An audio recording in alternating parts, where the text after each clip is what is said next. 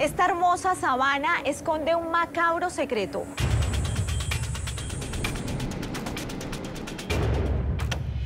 Emiro Cerro lo mataron. El 11 de junio del año 2016, un hallazgo conmocionó a todo el departamento de Sucre. Cuando usted logra ver el cuerpo de su hermano Emiro, ¿qué ve? Lo veo que está quemado. Era uno de los ganaderos más reconocidos de esta región. Especialmente en la cría del ganado de Lidia. Por más que los señalados asesinos habrían intentado hacer pasar la muerte de Emiro Cerro como un accidente, la policía logró sus capturas. Hay pruebas indiciarias, hay pruebas testimoniales. Sin embargo, ese sería solo el primer reto de la justicia en esta investigación. Pues ya deben estar condenados. Pero nada, estamos esperando.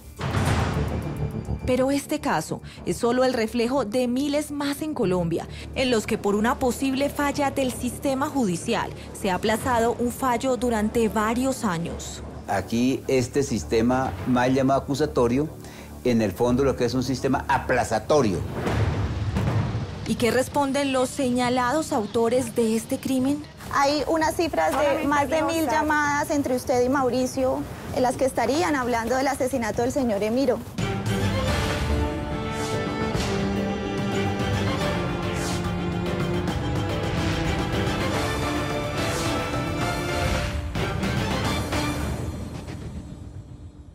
Buenas noches. Emiro II Cerro Rodríguez fue un reconocido ganadero de Sucre. Él apareció incinerado en su camioneta en junio de 2016. Una ardua investigación reveló que se trató de un crimen minuciosamente planeado. Los sospechosos fueron capturados y acusados, pero el proceso se estancó y hoy están en libertad. Desde luego la familia de la víctima está indignada. Pero el proceso de Emiro Cerro es apenas uno de los miles de casos que están estancados en el país debido a constantes aplazamientos que terminan muchas veces en la liberación de los procesados. Esta noche, en la investigación de Laura Incapié, conocerán un caso que ilustra otra de las posibles fallas del sistema penal acusatorio en Colombia.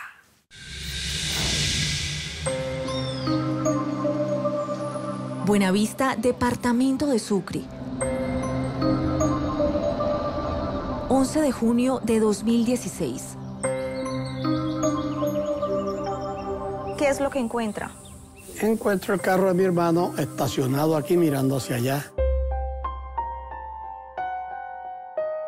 Marco Antonio Cerro recuerda la dolorosa escena. El hallazgo del cuerpo de su hermano, el reconocido ganadero Emiro II Cerro Rodríguez. El carro estaba chamuscado, se había prendido. Una de las personalidades más importantes de esta región del noreste del país estaba sin vida dentro de su camioneta, con quemaduras en varias partes del cuerpo, al parecer por un incendio. Cuando usted logra ver el cuerpo de su hermano Emiro, ¿qué ve?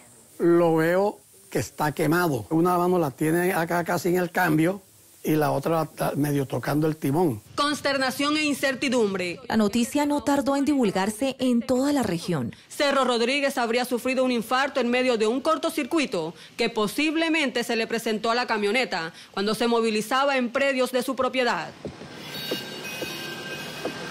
Pero esta hipótesis la descartaron las autoridades tras una reveladora investigación que retó a las autoridades más curtidas del departamento. La que ven no era la escena de un accidente, sino de un atroz asesinato, planeado y ejecutado por manos criminales. Me da duro. Fuerte porque mi hermano ya va buscando cuatro años de muerto y a estas alturas no ha habido justicia. Como lo denuncia con impotencia Marco Antonio Cerro, el caso de su hermano es el reflejo de la que sería una grave falla del sistema judicial en Colombia, que hoy tiene estancados miles de procesos en todo el país. Si son responsables, como la familia creemos que lo son, pues ya deben estar condenados. Pero nada, estamos esperando.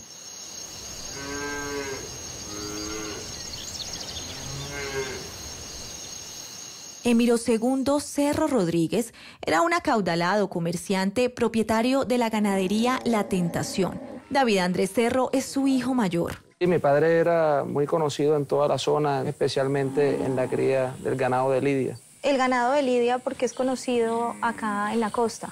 Es el, el ganado que sale en corraleja. La corraleja es una actividad que da muchos ingresos a mucha parte de la población acá. Emiro Cerro siempre vivió en la bonanza, pero más que un negocio, los toros eran su pasión. Tenía un armario lleno, yo creo que había más de mil películas de videos de corraleja, que todas, después de habérselas visto en vivo muchas, volví y se las repetía en la casa de él.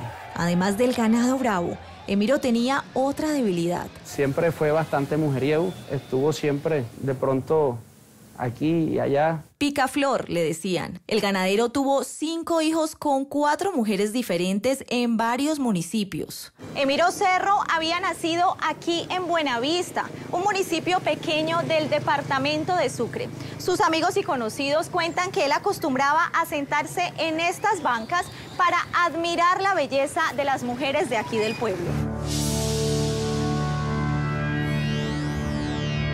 Antes de ser asesinado, Cerro Rodríguez tenía 63 años y mantenía una relación con Yerlín Galindo Durán, una joven 28 años menor que él. Betty Rodríguez es su hermana menor y una de las mujeres que más conocía la intimidad del ganadero. Ellos siempre tuvieron una relación anormal, diría yo, no ese tipo de relación de una mujer como compañera.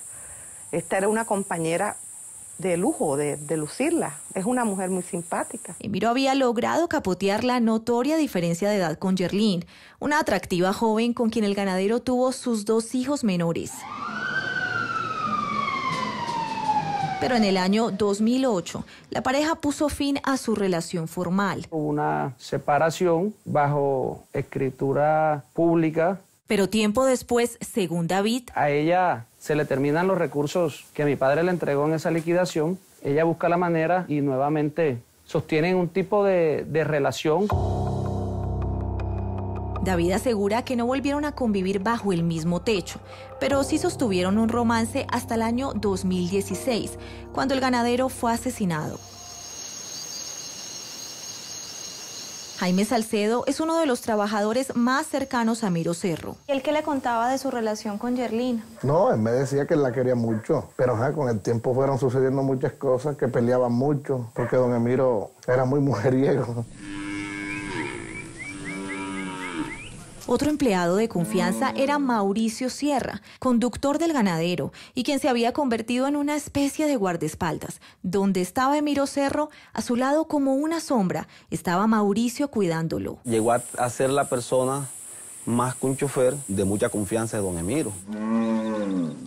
Iván López es el capataz de una de las fincas de Cerro Rodríguez. Él hacía consignación a los bancos o retiros y esas cosas con autorización de don Emiro.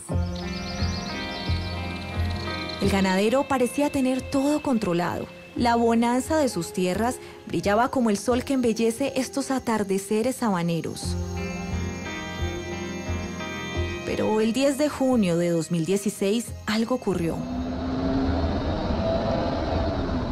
Ese día, Emiro salió de su finca en Buenavista a eso de las 5 de la tarde, según lo cuenta su trabajador Iván López. Antes de subirse en su carro, él me pregunta qué, qué hay de comer en la finca, en la finca Barro Blanco, y a lo que yo le respondo que arroz con carne de mechada. Él me dice, ah, lo que a mí me gusta, me guarda que yo llego allá a cenar. Él se retiró en su camioneta con su chofer y el otro joven. Mauricio Sierra y su joven ayudante, un menor de edad, se fueron ese día con el ganadero, pero quedaron de regresar. Iván, sin embargo, se quedó esperando a su patrón toda la noche, pero él no regresó a la finca. De pronto el celador también pues pensó que mi papá había ido para otro lado y no llegó a dormir a la casa. Sin embargo, al día siguiente, el 11 de junio de 2016, la pesadilla empezó a las 5 de la mañana. Mi madre me toca la puerta y me dice, David, me están llamando que Mirito tuvo un accidente, que el carro se había quemado y lo habían encontrado en el camino que de Juanaria conduce a Buenavista, incinerado. A esa hora, Marco Antonio, hermano de Miro, ya estaba en el lugar. Yo intento meterme al carro a ver a mi hermano y la policía no me dejó. Para la familia todo era caos. Yo pegué un grito y yo le dije, ay, Marco, lo mataron, lo mataron. Yo me puse a llorar. Las autoridades acudieron al lugar del hallazgo. El coronel William Osvaldo Rincón es el comandante de la policía del departamento de Sucre. En la vía Buenavista, Juan Arias, se encuentra un vehículo incinerado y es allí donde llegan nuestros investigadores a establecer cuál fue la ocurrencia de este hecho. El hoy retirado de la policía, el exintendente José Gregorio Acosta, para la época era el jefe de la SIGIN del municipio de Corozal y aún tiene fresco en su memoria lo que halló la policía en la cena. Halló en el interior del vehículo un potencializador sexual llamado Megaces y otro de Meromach. La posible ingesta de Viagra le sugirió una hipótesis que el ganadero pudo sufrir un infarto cuando el vehículo habría tenido una falla eléctrica y empezó a incendiarse. Una posible avería que sufriera el vehículo, teniendo en cuenta la incineración por su avanzada edad, era muy probable que hubiese sufrido un paro cardíaco. Que su padre sufriera un infarto en una vía desolada y que además eso coincidiera con una falla eléctrica del vehículo eran circunstancias que para David Cerro no eran creíbles. A Emiro Cerro lo colocaron ahí. Emiro Cerro lo mataron. Emiro Cerro está puesto en ese carro. Era el sentimiento de un hijo que desde ese momento se propuso demostrar que esta cena no era la de un accidente. Lo primero que hizo fue ordenar un peritaje del carro. Unos expertos del SENA, al momento de hacer su revisión notan que el carro no tenía ningún tipo de corto, el aire le funcionaba en perfecto estado, la batería también. La camioneta solo se había quemado en la parte interna, por fuera estaba en buen estado. Se llega a la conclusión que alguien provocó ese incendio que tuvo el carro en la parte interior. Así como el carro había dejado una huella para la investigación, el cuerpo de Miro Cerro también ayudaría a revelar la verdad. El dictamen de medicina legal dictaminó categóricamente de que la causa de la muerte obedecía por una posible asfixia mecánica. Una muerte al parecer por ahorcamiento. Dentro de esa inspección técnica cabe hay que rescatar algo en especial y fueron los surcos de presión que se le hallaron al occiso alrededor del cuello. Y había un elemento aún más tétrico. Medicina Legal envía las prendas que vestía mi padre en las que encontraron muestras de ACPM. A mi papá le rocían ACPM y prenden el carro. Emilio Cerro, según la necropsia, habría sido quemado después de muerto. Pero ¿qué mente criminal planeó con frialdad este asesinato, dejando una coartada para desviar la investigación? Nunca tomó ningún potencializador sexual, de acuerdo al dictamen de medicina legal. ¿Parecía que esos productos los hubieran puesto allí intencionalmente? Sí, señora, parecían puestos en la escena, estaban al lado de la, de la palanca de, de cambios. Con esas pruebas, la policía interrogó a las últimas personas que vieron con vida al ganadero, entre ellos a su hombre de confianza, Mauricio Sierra, con quien, según los empleados, Emiro salió la tarde del 10 de junio de 2016. En esta entrevista que dio al canal 12 de Sucre, el conductor contó la misma versión que le dio en ese momento a las autoridades. Él dijo, Mauro, me salió un negocio cuando él lo dejó en la esquina. Y él se fue, él se fue solo. Según Mauricio, eso ocurrió a las 6 de la tarde y desde entonces él nunca más volvió a ver a su patrón Emiro Cerro. Pero hubo un detalle en el interrogatorio que encendió las sospechas de la policía. Él enfatizaba que él había sufrido unas quemaduras producto del día en que le daban cristiana sepultura al señor Emiro Cerro y que habían sido productos de la caída de una olla hirviendo. ¿Y decía constantemente eso sin que ustedes se lo preguntaran? Eso llamó la atención porque él fue enfático en recalcar una y una vez más sobre ese tema. A la familia de la policía llegó una versión que llamó aún más la atención sobre las quemaduras del conductor Mauricio Sierra. Él tenía un desespero de poner la olla del caldero para la sopa. Yo le dije, espérate un momentico, ahora cálmate. Al poco rato, no tenía 20 minutos cuando él sale de allá, que se había quemado. El empleado Jaime Salcedo cuenta que cuando fue a recoger la olla que, según Mauricio, le había caído en las piernas, se llevó una sorpresa. El agua estaba fría, yo metí la mano y estaba, eso no estaba caliente. Sin embargo, la policía pudo verificar que el conductor sí tenía quemaduras serias en sus piernas, justo un día después de que la camioneta y el cuerpo de su jefe, Emiro Cerro, aparecieran incinerados. Edificaron una coartada con el fin de que no se conociera de su autoría. El conductor Mauricio Sierra era en ese momento el primer sospechoso del homicidio de Emiro Cerro. La fiscalía y la policía avanzaban en buscar pruebas técnicas e interceptaciones para dar validez a sus sospechas. Pero fue 11 meses después del crimen que apareció una prueba clave en el caso. Algo que cambia todo el panorama de la investigación y es el surgimiento de un testigo presencial. Se trataba de este hombre, un mototaxista de la zona que no reveló su identidad, pero contó que la noche del 10 de junio de 2016 vio en la vía la camioneta de Miro Cerro.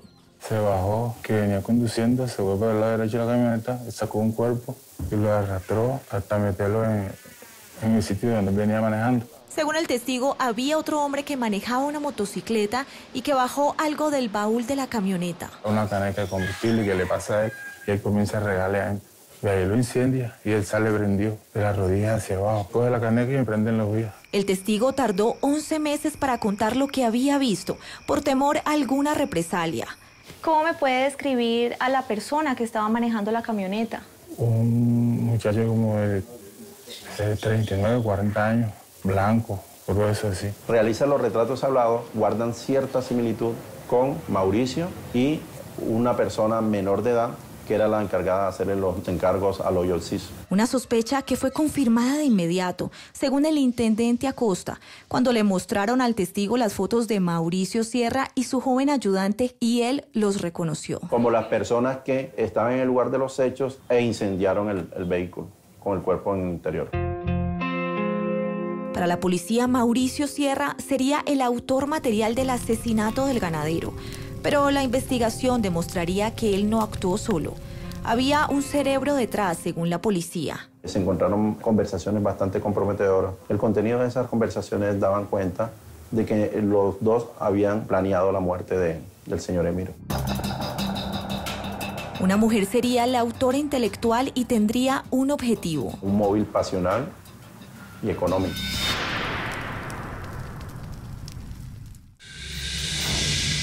Mauricio Sierra se ha convertido en el claro sospechoso que le habría prendido fuego a la camioneta. Pero según las autoridades no actuó solo. Lo que está a punto de ocurrir en los estrados judiciales dejaría perplejo a los hijos de Don Emiro. A partir de este momento, opine con el hashtag numeral aplazamiento. Regresamos. ¿Tú crees que una mujer enamorada, una mujer al papá de sus hijos que lo acaban de matar, que está allá, no, sale a mirarlo? Se quedó así en un sitio, en una loma que está ahí, pelo para acá, pelo para allá, y ni siquiera bajó allá y nadie le dio una lágrima.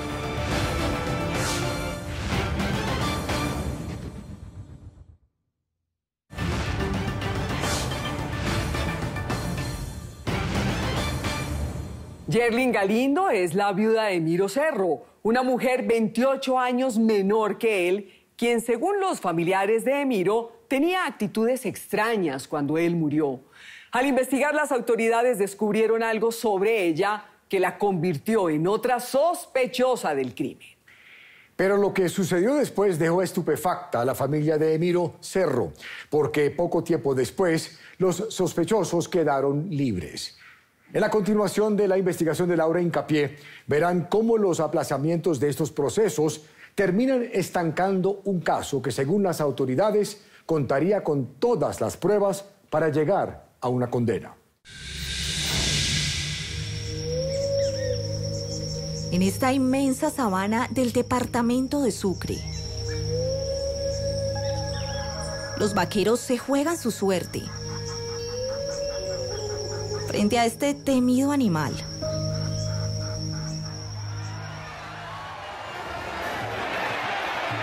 Pero como en las corralejas de la costa caribe, en la vida cualquier mal paso también puede significar la muerte. Él fue encontrado en una posición que todo el que veía una foto decía, a Emiro Cerro lo colocaron ahí, Emiro Cerro lo mataron. La policía, tras la declaración de un testigo, corroboró las sospechas que tenía del conductor Mauricio Sierra. Pero, ¿qué razón tendría este empleado para asesinar a su patrón? Apenas se conoció que él era sospechoso, la familia empezó a atar cabos. Luis Felipe es el segundo hijo de Emiro Cerro, y meses antes del asesinato, él escuchó algo sobre Yerlín Galindo, la pareja de su papá. En el pueblo se comienza a, a rumorar que ella le estaba siendo infiel a mi papá. Ella estaba saliendo con Mauricio. Según Luis, antes del homicidio del ganadero, él mismo le preguntó a Mauricio sobre este rumor. Y me dijo que eso era mentira, que cómo se le ocurría a la gente eso, que él no, nunca podía hacer eso. Pero a Luis Felipe le confirmaron el supuesto romance. Me encuentro con Ángel, hermano de Yerlin.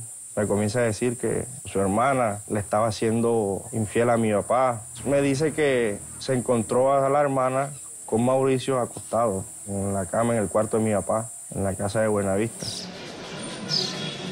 Para enero del 2016, cinco meses antes del crimen del ganadero Emiro Cerro, era común que Yerlín y Mauricio compartieran en fiestas y en conciertos, como lo demuestra esta fotografía, en la que Luis terminó posando junto a la supuesta pareja.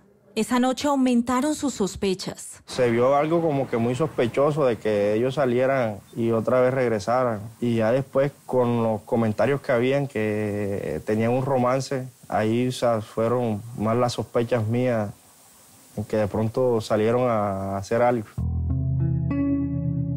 Aunque Luis decidió no decirle nada a su papá, los rumores ya habían llegado a oídos de Miro Cerro, según lo pudo confirmar su primo Jairo Rodríguez. Yo tuve una vez un celular de Miro, necesitaba hacer una llamada, y vi una conversación que Yerlin tenía con Emiro. Emiro le estaba reclamando a, a Yerlin de que tenía un romance con Mauricio. Según esta versión, Emiro ya había acusado a su expareja de serle infiel con su conductor Mauricio Sierra. La gran mayoría de trabajadores y, y círculo muy cercano a la familia sabían de que ellos tenían una relación alterna. Era una, una especie de un triángulo amoroso. Si había un triángulo de amor, era posible para la policía que Mauricio Sierra hubiese asesinado a Emiro Cerro. Pero ¿cuál era la motivación de Yerlín? Las autoridades necesitaban pruebas.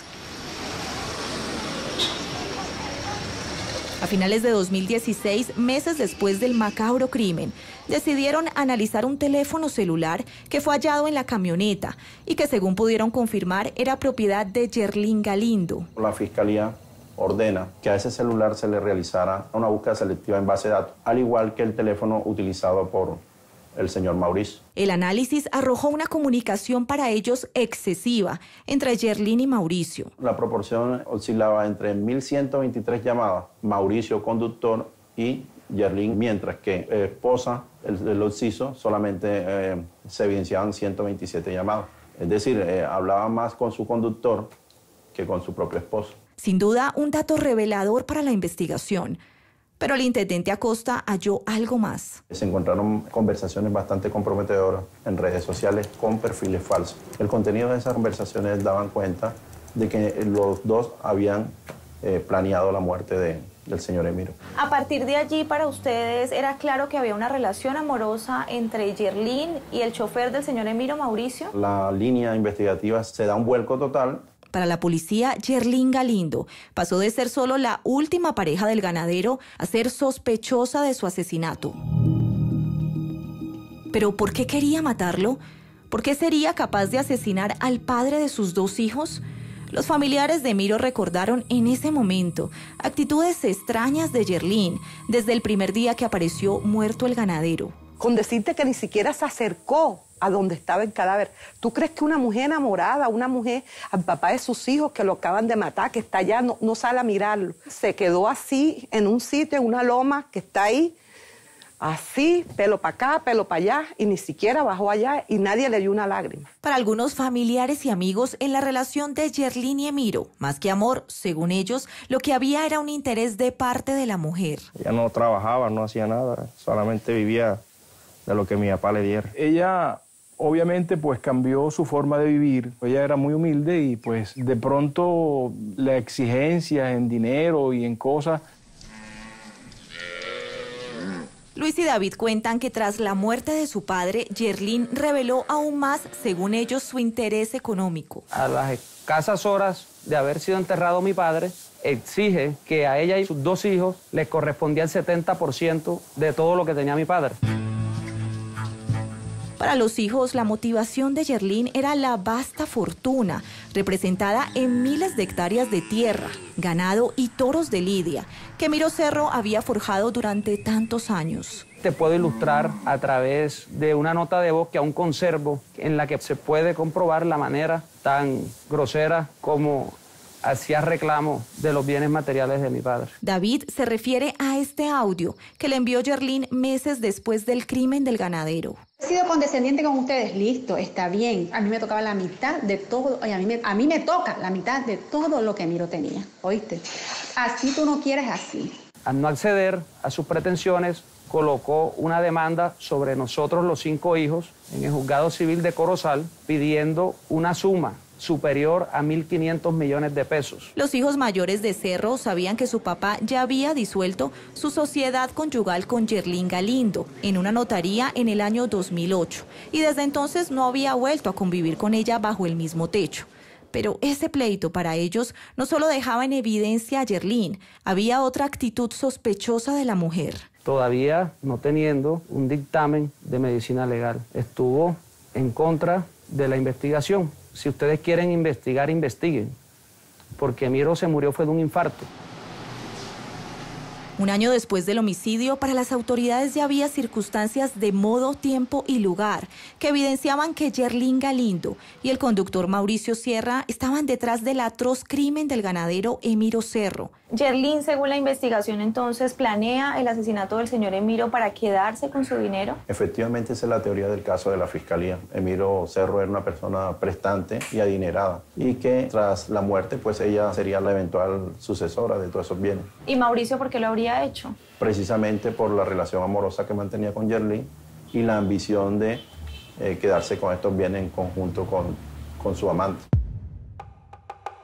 Un testigo que habría reconocido a Mauricio la noche del crimen, los señalamientos del romance entre él y Yerlín, el supuesto interés de la mujer por la herencia de su expareja. Y las más de mil llamadas antes del asesinato. Eran las pruebas de las autoridades. Ya con todos estos elementos materiales probatorios y evidencia física legalmente obtenida, el fiscal que direcciona y orienta la investigación acude ante un juez de control de garantía para que éste emane las órdenes de captura. Aquí en el barrio Venecia, el sector más exclusivo de Cincelejo, en septiembre del 2017, Yerlin Galindo fue capturada por la Fiscalía por ser, según la investigación, la autora intelectual del asesinato de su expareja, el ganadero Emiro Cerro. Ese mismo día también fue capturado en Buenavista el conductor Mauricio Sierra y al menor de edad que sería otro de los presuntos coautores. Germán Ordóñez es el director de Fiscalías de Sucre. Cuando la Fiscalía imputa estos delitos y acusa es porque tiene los elementos materiales probatorios suficientes para demostrar en juicio que estas personas asesinaron al ganadero. Pero lo que ocurriría en este caso es el reflejo de miles de juicios en Colombia, en los que se escucha en las audiencias una palabra como común denominador, aplazamiento. Un permanente aplazamiento de las audiencias. Eso no se justifica, eso no tiene razón de ser, eso no tiene presentación. Desde la primera audiencia, el proceso inició con tropiezos. Héctor Merlano es el abogado de los hijos mayores de Emiro Cerro. El transcriptor del informe policial no transcribió correctamente el número de la cédula de ciudadanía de Mauricio Sierra, pero eso fue una leguleyada tremenda. Por ese error, Mauricio quedó en libertad. Al día siguiente se emitió una nueva orden de captura, pero según las autoridades, ya no fue posible ubicar a Mauricio. Yerlin Galindo sí fue detenida en la cárcel, pero tres meses después recibió el beneficio de casa por cárcel, por ser la madre de una menor de edad. La Fiscalía presenta escrito de acusación contra Yeldin Galindo como autora intelectual y contra Mauricio Sierra Payares y un menor como actores materiales. El 18 de diciembre de 2017, se iniciaron las audiencias antes del juicio oral y ese día hubo un primer aplazamiento. Yerlin Galindo cambió de abogado. Ahí habían audiencias que se aplazaban y volvían a ser programadas para de pronto casi dos meses. El 7 de febrero de 2018 se programó la audiencia de acusación. ¿Y qué creen que pasó? Imagínese usted que no hubo audiencia ese día. Y así hubo una cantidad de veces que se aplazaron las audiencias. Esta vez la razón fue que Mauricio Sierra se había entregado y la fiscalía pidió unificar su proceso con el de Yerlin Galindo. A medida que el calendario corría y no se iniciaba el juicio, se aumentaba la angustia de los familiares del ganadero. Pensé que esto debía funcionar como un relojito, pero yo no sé por qué tanto aplazamiento. Entre abril y julio de 2018, otras tres audiencias se aplazaron.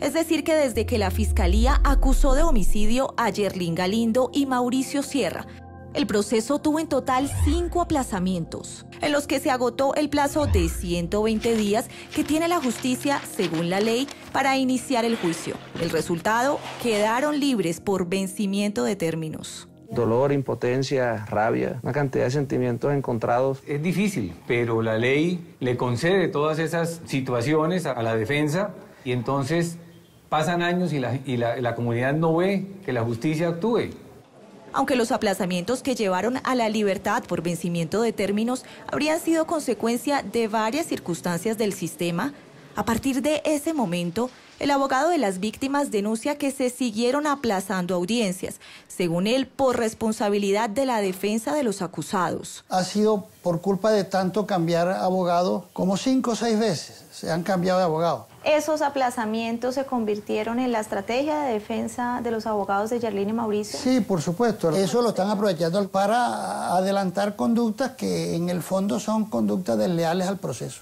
Según David, los cambios de abogado los ha hecho Mauricio Sierra y han retrasado el proceso. El abogado nuevo argumentaba no tener conocimiento pleno del caso, pidiendo tiempo en que las audiencias se hicieran posteriormente. Pero este sería solo uno de los miles de casos que hoy estarían estancados en el país, debido a una misma razón.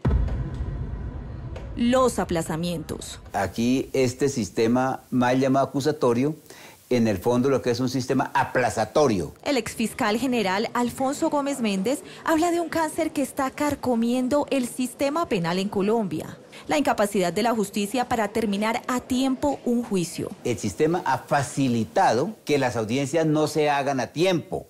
Y por la congestión, una audiencia que no se hace hoy generalmente no se aplaza para el día siguiente ni siquiera para la semana siguiente, muchas veces meses después. Aunque algunas audiencias se aplazan por responsabilidad del juez, del fiscal o hasta del mismo IMPEC cuando no lleva a los acusados, estudios de la Corporación Excelencia en la Justicia revelan una realidad, según su director Hernando Herrera. Y es un crecimiento exponencial de los aplazamientos por maniobras de la defensa, con un porcentaje superior al 56% aunque el magistrado Hermes Lara del Tribunal Superior de Bogotá aclara que muchos abogados están simplemente utilizando los recursos que les ofrece la ley, otros sí estarían abusando del sistema. Hay estrategias defensivas que, aun cuando son legales, no son en realidad eh, algo ético o moral. En este caso, ¿usted ve que claramente hubo alguna intención de parte de la defensa de dilatar el proceso? Si una persona durante un juicio ha cambiado cuatro, cinco, seis veces de abogado, pues es evidentemente que es una maniobra dilatoria. ¿Pero qué responde Mauricio Sierra? Yo me quedo inocente. ¿Y qué dice Yerlin Galindo, la presunta autora intelectual del crimen? Laurín Café, periodista de Séptimo Día. ¿Cómo ha estado? Bien, ¿tú qué más? Al regresar, ustedes conocerán qué respondió Yerlin Galindo y cómo se defendió de las acusaciones de la fiscalía. ¿Cuál es su relación con Mauricio Sierra, el chofer del señor Emiro? Era el chofer de Emiro, simplemente. Según las pruebas que tiene la fiscalía, ¿usted tenía una relación amorosa con él? No, para nada.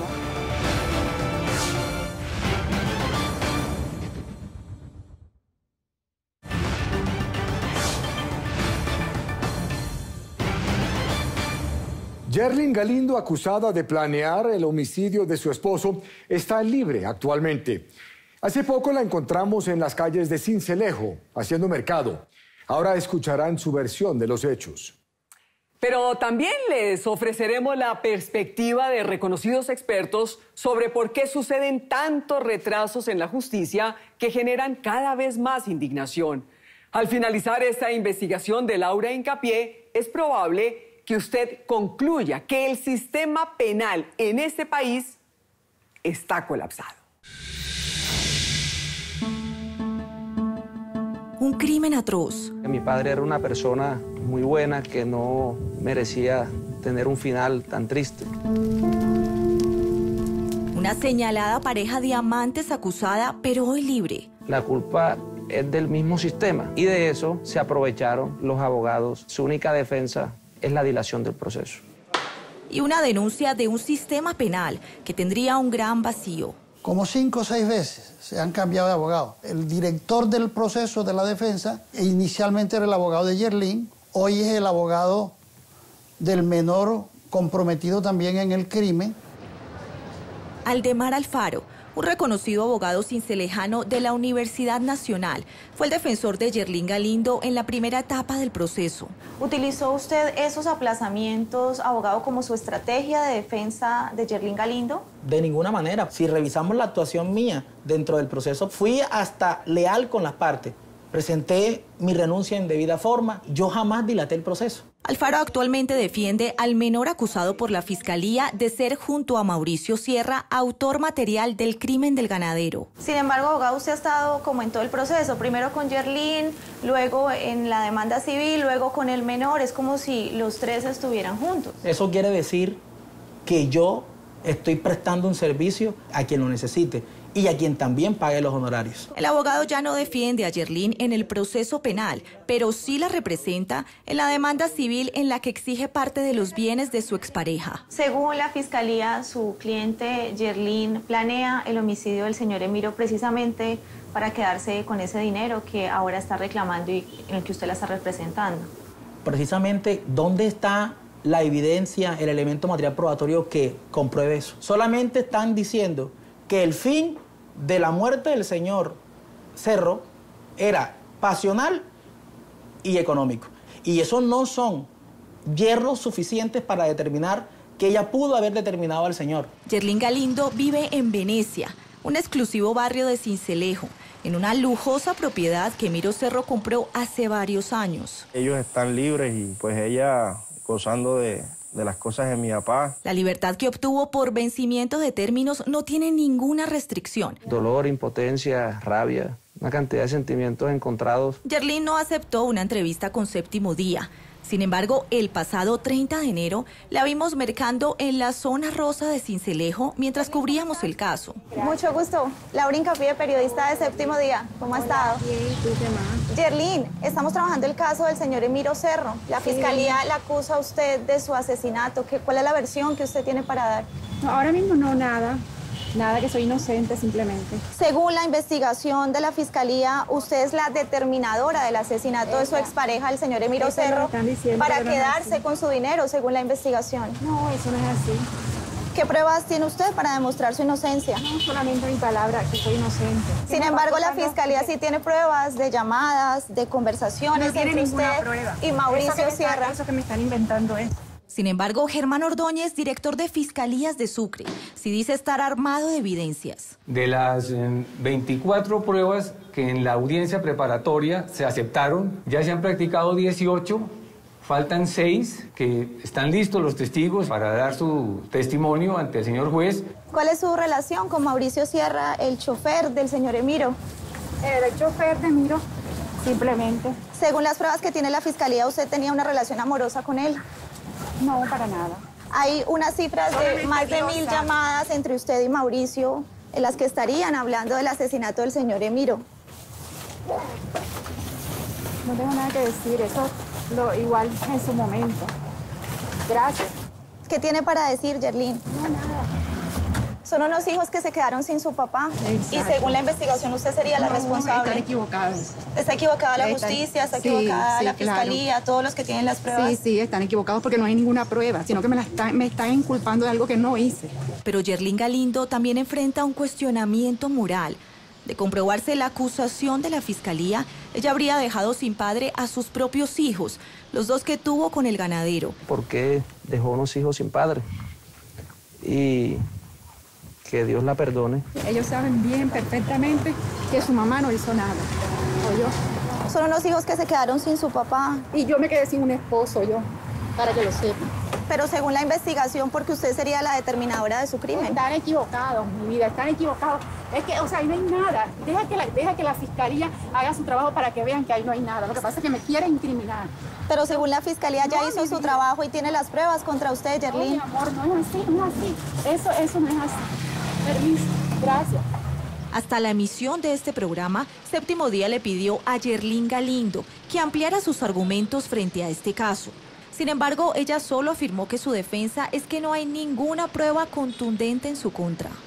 De Mauricio Sierra no se sabe su paradero. Nadie nos dio razón de él en Cincelejo ni en el municipio de Buenavista, donde ocurrió el homicidio. Esto ha sido muy perjudicial para mi familia, para mí. Un canal local lo entrevistó en julio de 2018, cuando quedó libre por vencimiento de términos. La verdad no sé por qué me quieren culpar. Si yo tengo mis testigos, tengo donde yo él me dejó, donde él todo, yo me quedo inocente. Mauricio siempre ha negado tener una relación amorosa con Yerlin, a pesar de las más de mil llamadas entre ellos que encontró la fiscalía. Llamadas como si ella fuera la patrona mía, de cualquier cosa que necesitaba, yo era el encargado de todo. Yo era el encargado de todo, de consignar de todo, de hasta de pagar a los estudios a los hijos. Por el momento, el juicio contra Mauricio Sierra y Yerlín Galindo se sigue adelantando aquí en el Palacio de Justicia de Corozal.